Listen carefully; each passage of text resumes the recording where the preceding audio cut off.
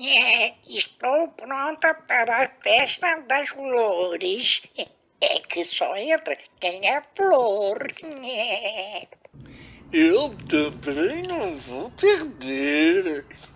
Acho que arranjei um bom disfarce. Ops!